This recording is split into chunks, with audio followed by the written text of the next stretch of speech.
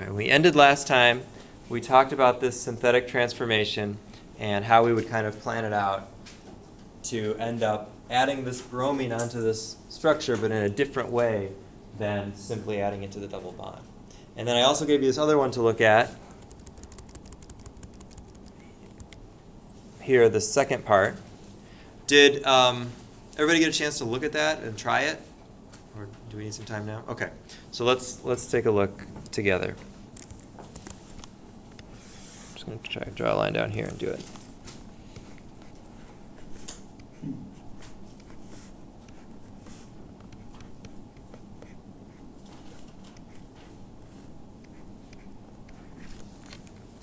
All right. First thing to do when you're dealing with these synthesis problems is always look at the carbon skeleton. All the other examples we did yesterday, there's no change to the carbon skeleton, meaning the carbons stay however many there are and in the same order that they are. This now we see something a little bit different. What what has changed here with respect to the carbon skeleton? Yeah, we've actually lost a carbon. So this this CH3 group uh, on the end here coming off of the double bond is not there in the process in the product. So what does that tell you about what needs to happen in this transformation? Yeah, there has to be some sort of a cleavage process that will actually get rid of some carbon.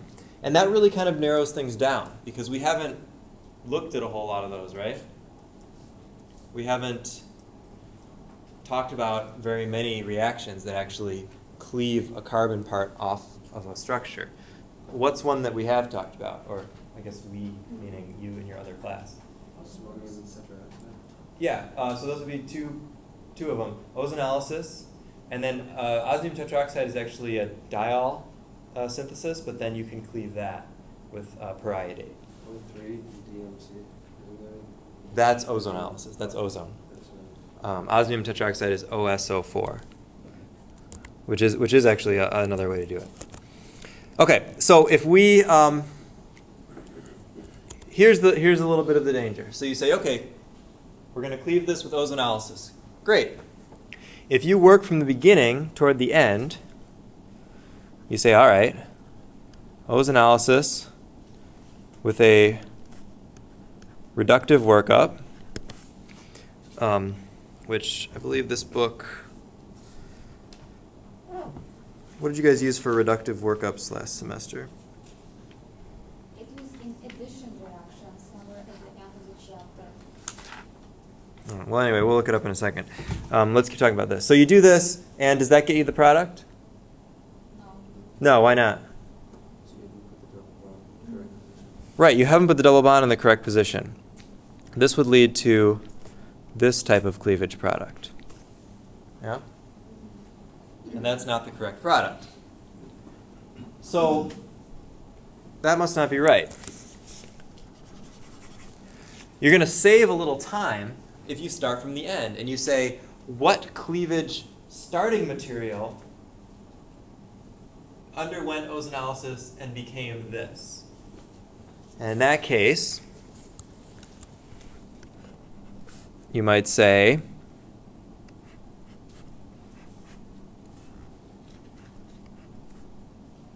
something like this. Right, we don't really know what's coming off of that because it was cleaved off, but something in that kind of a um, mode.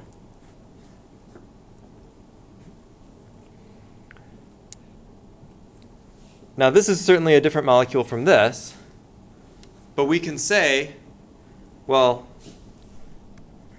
this, mole- this is probably the closest. Because if there were other stuff attached, that means we'd have to add something and then cleave it off later. This one actually has the same number of carbons as this, so it has the same carbon skeleton. All right. So now we have a problem much like the ones that we looked at last time, which is the shift of an alkene functional group from one position to another. Um, do you remember how we did that? How did we shift an alkene functional group from one spot to another last time? What? Well, it wasn't exactly a rearrangement, but it was a sequence of steps. Uh, what was what were the two steps that we used? Remember? Elimination reaction. Mm-hmm. Yeah, so you put some kind of thing on there, like you, you do an addition reaction that adds some sort of leaving group, and then you do an elimination in the way that gets you the new alkene. All right.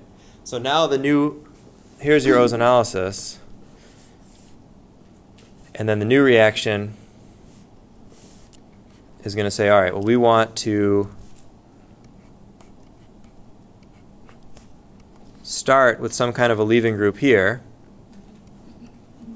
right? Maybe a bromine or something. And then we can eliminate it.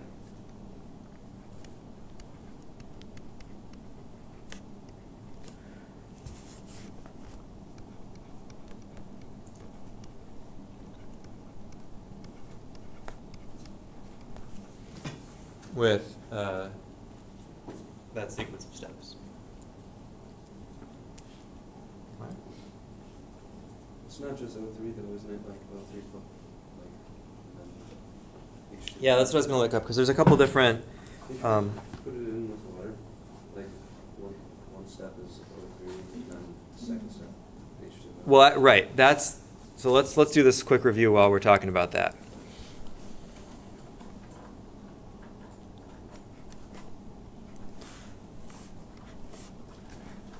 There are two ways to cleave via ozonolysis. One way is an oxidative workup, usually in the presence of something like peroxide or water, things with oxygen. What that means is the um, intermediate, which is an ozonolite, which is a, a ring, I don't know if you remember, it's a five membered ring with three oxygens in it. That is then broken down by some more oxygen, and that actually ends up oxidizing further to the carboxylic acid. What? always. In these in this case, yes. The other way to do this is ozonolysis with a reductive or zinc. So they use your book just calls it DMS for dimethyl sulfide. It's actually a sulfur with a methyl group on either side.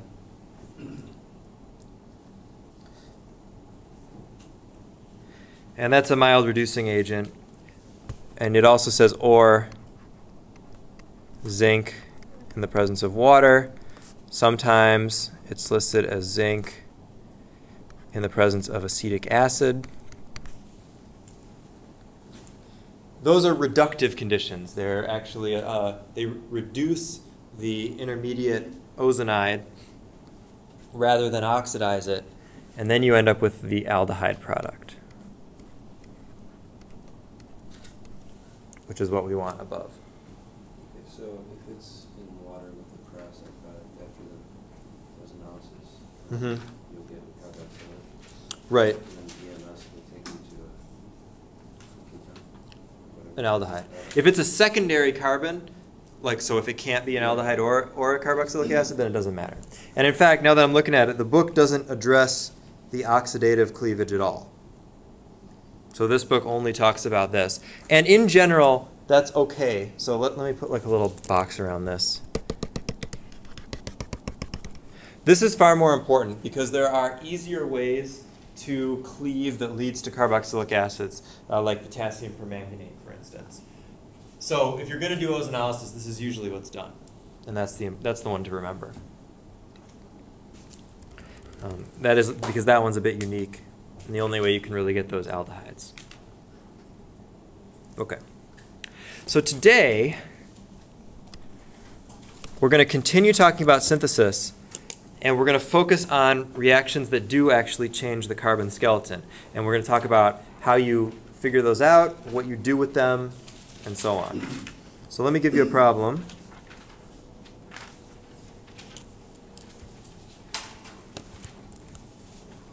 Like this. Start a little easy.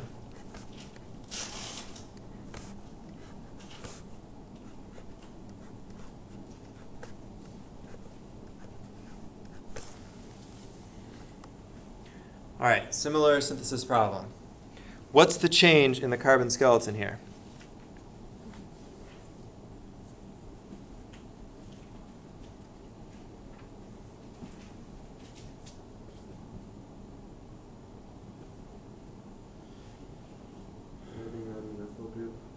Yeah, we're adding on an ethyl group, or more specifically an ethynyl group, right? A triple bond uh, ethyl group. Or an acetylide. So we've extended the carbon chain by two carbons that happen to also have a triple bond between them. Um, so what kind of reaction can we use to, to do that? Does anything come to mind? Elongation. The what? Well, it's an elongation process. True. You gotta use NaNH, or, yeah, NaNH too. Well, let's think about this for a minute. So this goes back to the alkyne chapter, which was chapter what nine or ten? Ten. And in that chapter, we talked about how the end of an alkyne can be deprotonated by a sodium amide base. So you can take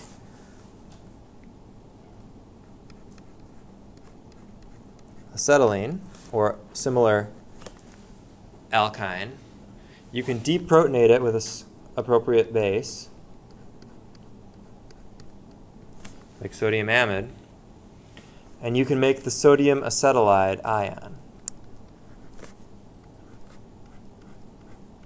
So do you need a triple bond before you elongate? Uh, sort of. I'm kind of just digressing a little bit. I'll show you how to how to actually use this in the context of the synthesis. And then the byproduct from that reaction is ammonia.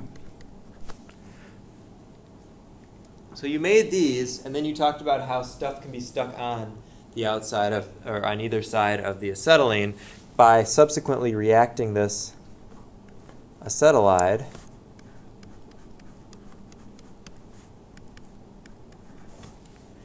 with a primary halide.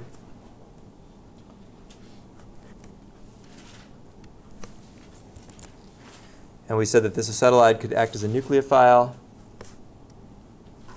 and do an SN2 reaction on the alkyl halide.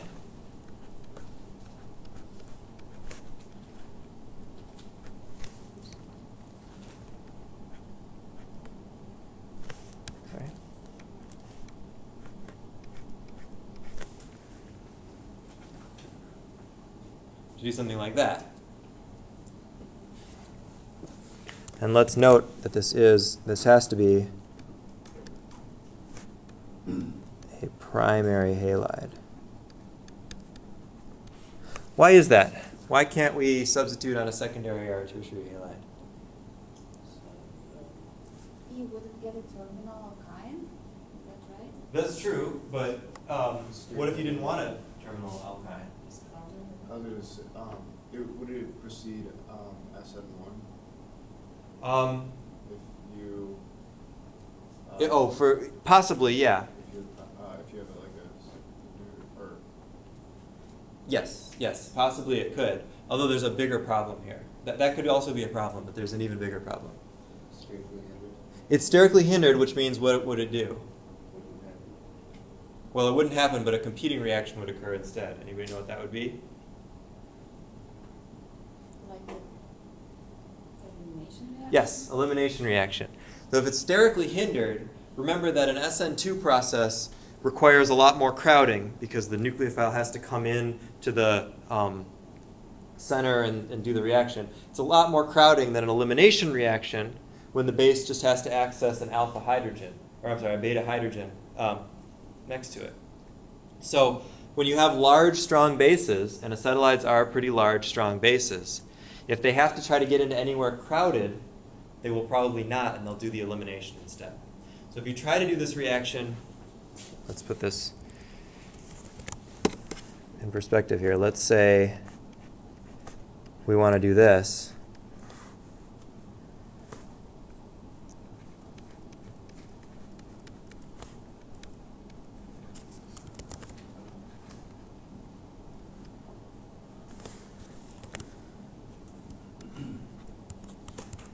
And we want to get here. Okay. That wouldn't happen. Instead,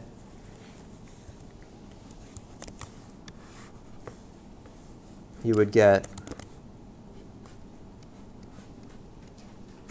the elimination product. So instead of substituting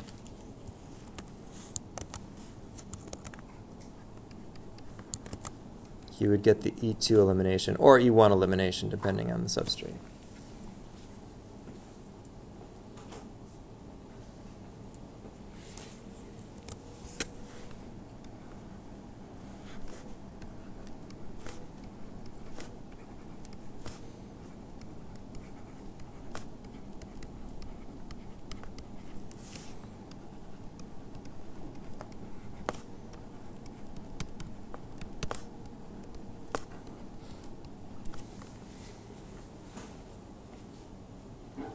The secondary or tertiary substrate would eliminate, which is not what we want there. Okay, so that all said, kind of as an aside here.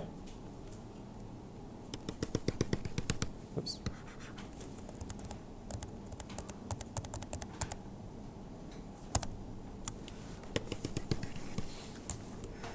Let's go back up to this problem. Now, what happens if we look at this from the other side? This was a little, this was sort of how we would have looked at it last semester. We're talking about alkynes. Here's something that alkynes would do. Now we're looking at it from the other side. Here's a synthesis. We want an alkyne. So what do we do? Do we have to then get acetylene and show how it's deprotonated and then bring it in from another thing? Um, no, I- we don't have to do that in this case. What we can say in this case is that this is a one-step reaction where the reagent that we're using is sodium acetylide. Okay. So we can just do that and say this is what we're adding to this substrate to do this reaction. This is actually a one-step synthesis. It's good for you to know that this is how that all works, because it could go the other way sometimes. But we can assume that we're going to just do this and add that in as a reactant. All right. So are there any um, questions about that process? In the next chapter, we're going to talk about some other ways to elongate the carbon chain that are a little bit more efficient and a little easier to use. But the utility of this is that not only do you elongate the carbon chain, but you elongate it with something that is also a functional group. The product is still an alkyne. So now you can do all the alkyne stuff to it that you wanted to. Um, we could, I'm going to just draw some arrows. I'm not going to put in the reagents, but here are some things that you can make from alkynes. Um, you can make ketones.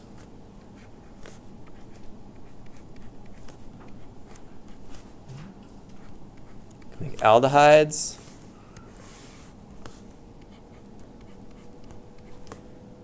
You can make double bonds. Then you can do things to the double bonds, all the double bondy stuff you like to do. Um, you can add halides, you can add hydrogen bromide, uh, you can add whatever, right? All that same stuff is available to you. And so in syntheses, these will often be your products that you actually want because alkynes are somewhat reactive and usually not the desired end product. But the alkyne makes a good intermediate or a good route to that when you need to elongate the chain. So now we're going to look at a couple examples of some synthesis problems that use these techniques but don't actually end on an alkyne. The way that we know that we have to use that alkyne is by thinking about the chain being elongated. That's sort of our clue that, ah, this must be uh, an alkyne type process. Okay. So let's start with this one. We're going to do a few of these.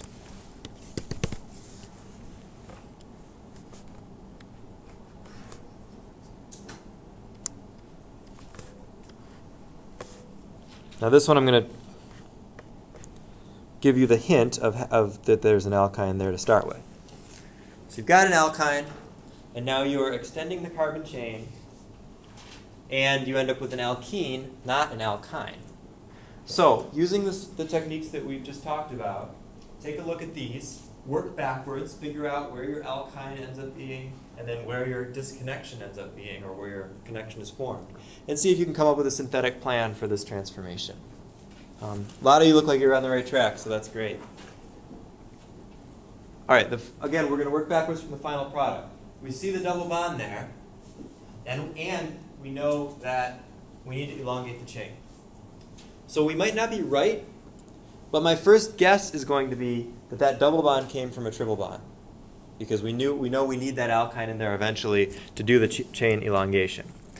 And this may seem sort of trivial, like why would we do this step by step and think about this? The reason I emphasize this process is that it will be important when we get to very large molecules with, with many steps. So I would say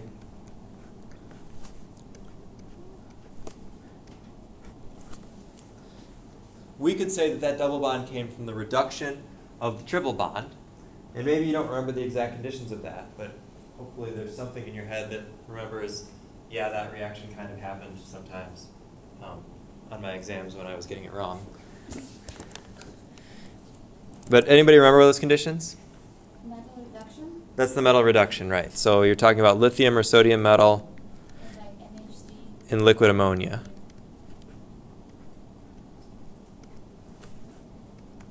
Okay. Um, there's a there's a similar set of conditions that gives you the cis alkene. Remember what those are? Um, Lindlar's catalyst, like poisoned catalyst? Yes, yes. Hydrogen with a um, poisoned platinum or palladium catalyst, known as Lindlar's catalyst, or the other way to do it. And that will give you the cis alkene. So, okay, now going back, moving backwards. So let's find the point of attachment. Let's find where this thing would break. It could be on either side of the alkene. Which side are we going to go? The bottom side or the top side here? Why the top side? Right. It's like it's the most exposed, or it's the, the most acidic hydrogen. Well, careful. Actually, they're they're equivalent on both sides. Both sides of this would be equivalent, right? If you break that, that's going to be a primary alkyne. But you're right. You're also right that that's the right spot to break it. The reason that's the right spot to break it is because that puts the alkyne on the side that makes it look like the starting material. If we did it over here, then this would not look the same as this. It would have one fewer carbon. So that kind of gets us in trouble. Then we have to add some other carbon another way. It becomes too complicated. So uh, this way, this looks exactly like that. And so that's going to actually be a direct step when we break that. So how do we do that? Well, we have to deprotonate that alkyne, as we did before, and then react it with the appropriate alkyl halide. So we deprotonate it first.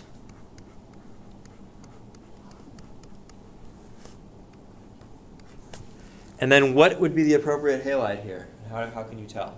Ethyl iodide, Ethyl iodide? Why? Um, because you need two carbons and iodide is a good leaving. It's a good living rate. Yeah, so you got two carbons here, which means that whatever you put here has to have two carbons. And then whether you use an iodide or a bromide or a chloride in this case is, is uh, up to you. It'll be fine either way. And that would be a good route to that synthesis. Okay. You good to ready to try a, a similar one on your own? Get a little bit trickier.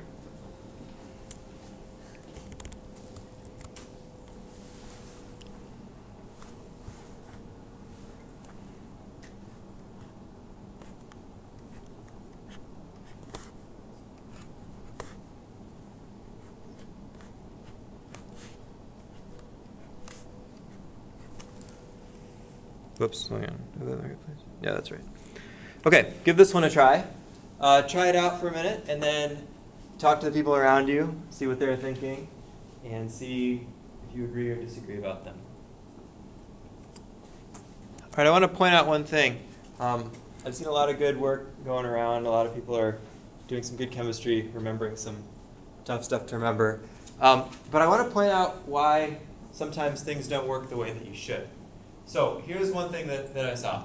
Um, you see this thing, you think, okay, clearly uh, we're extending the carbon chain. So we're going to talk about that alkyne substitution chemistry. So that must mean I need to make this double bond into an alkyne so that I can then substitute it on something. So you start from the beginning and you start saying, all right, uh, well, let's see, if I brominate this, I can make this. And then if I um,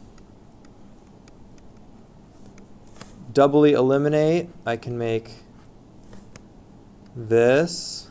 So now I've got my triple bond. And now I just have to figure out a way to connect this. So I'm going to use this and this. What's the problem with that?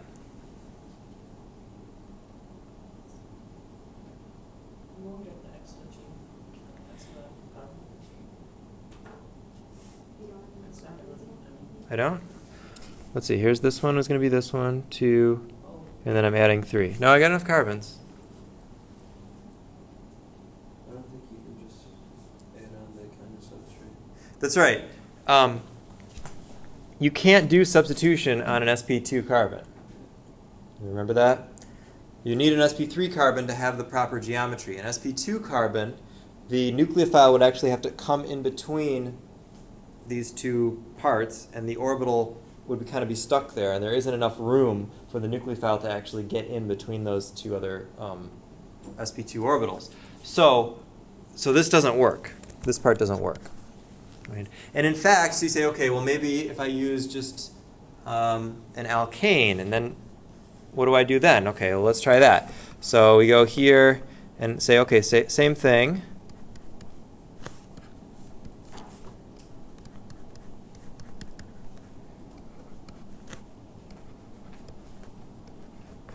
What if we just do that? Well, that gives me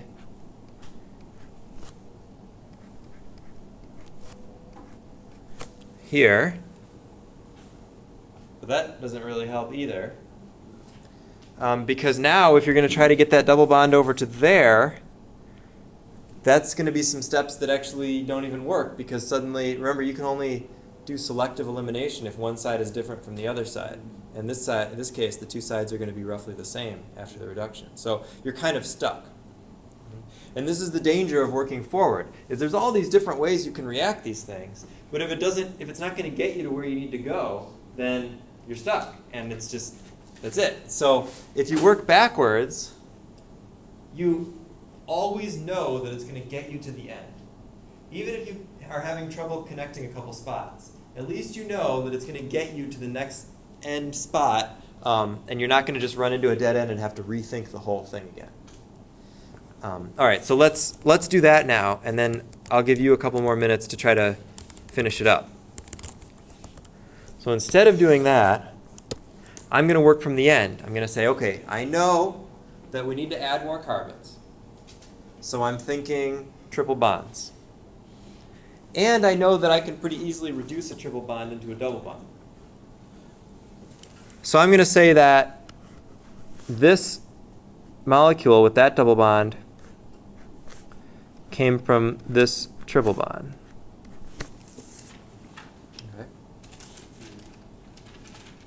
And now I know that I can disconnect on either side here, depending on what I want, using the chemistry we talked about earlier. So think about where that gets you, moving again in the backwards direction.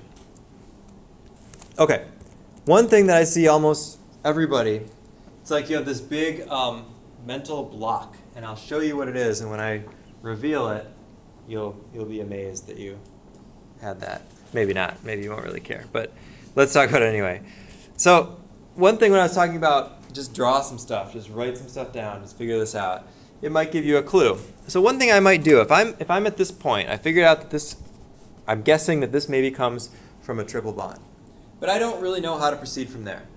I don't really see a good way to make this come back from this. That's fine because that may still be many steps away. It doesn't have to look like the starting material yet. So what I'm going to do is just make some guesses. Just try to figure out some reactions that might have happened and see if anything maybe um, gives me a clue. So I look at this and I say, okay, I know about these alky- alkyne reactions. I know they can connect either on one side or on the other side, depending on where is deprotonated. So let's look at both of those. First, let's look at this one. If I disconnect over on the right here, what that means is that I had this kind of a nucleophile and that kind of uh, substrate, right? That's what that reaction would give me if I broke there. And now let's look at the other side. If I break there, that means I have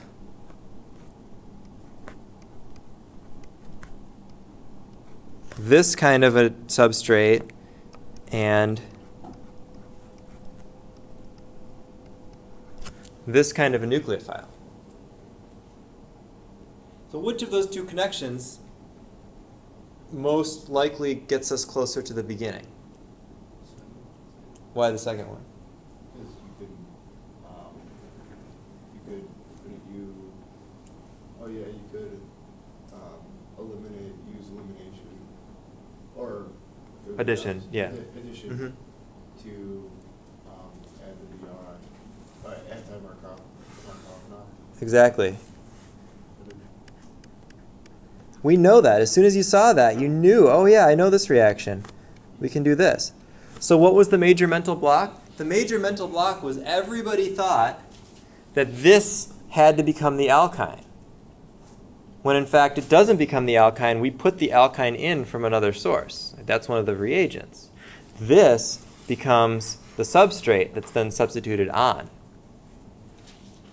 And how did we solve that? How did we finally see that? Just by trying it, just by writing down what would happen if we did these two reactions. And suddenly it was it was clear. Yeah. That's what I did, but I didn't think I had enough carbons.